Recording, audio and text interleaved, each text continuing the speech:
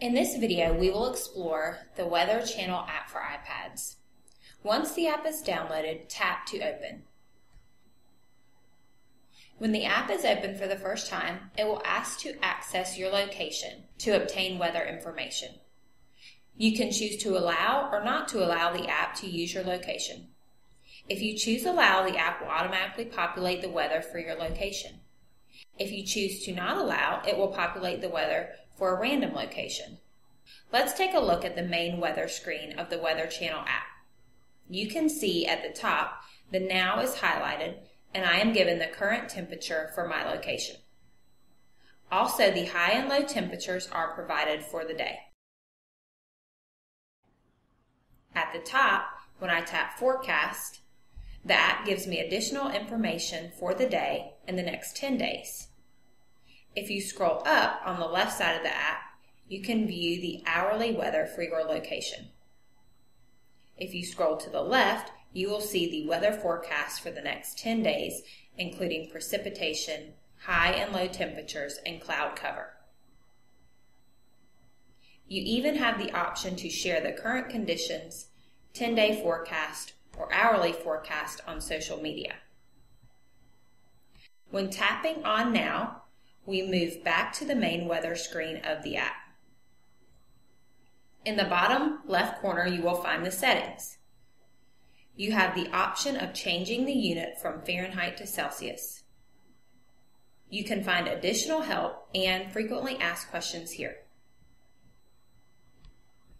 Let's take a look at the bottom of your screen.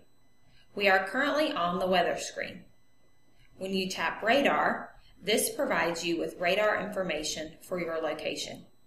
You can pinch in and out to zoom in and out of the map.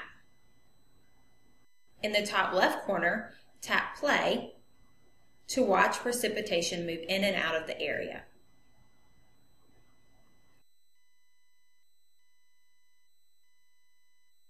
In the top right hand corner, tap layers to see radar views of cloud cover, temperatures, and the UV index.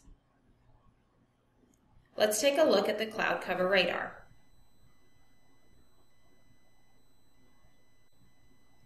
By pressing play, you can watch the clouds move in and out of the area. Also in the layers, you can view the radars in road, satellite, and hybrid modes.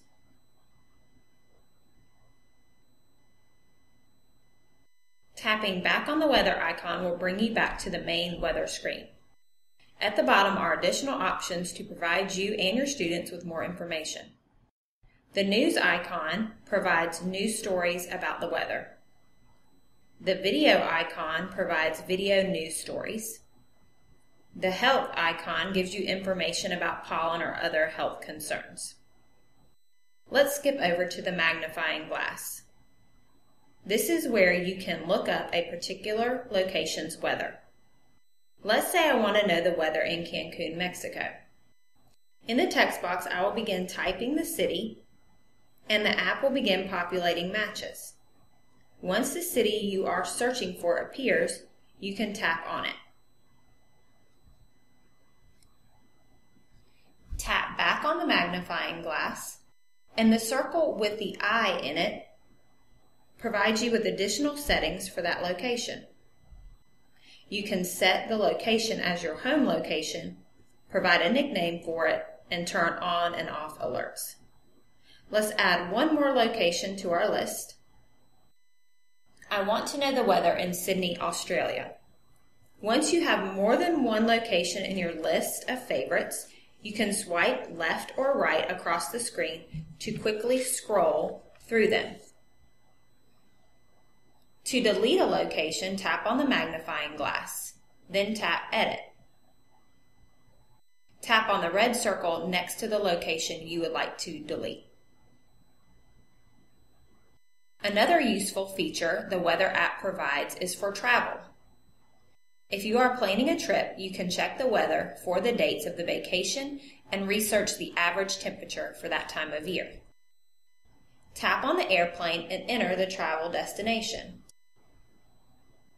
Let's say I'm traveling to Los Angeles, California. I can add the dates of the trip when I tap the plus sign on the left side of the screen. Let's say I'm going to LA from January 18th to the 24th. Tap the 18th and the 24th and then done. The app populates the weather for each day of my vacation. When I tap on one of the temperatures, it provides additional information for each day, including lows and highs and expected precipitation. On the right side of the screen, I am given a map of the city and a graph of the average weather each month in my destination location. Click Done to return to the main weather screen. There is a quick introduction to the weather app for iPads. I hope you found this app interesting and are looking forward to using it with your students.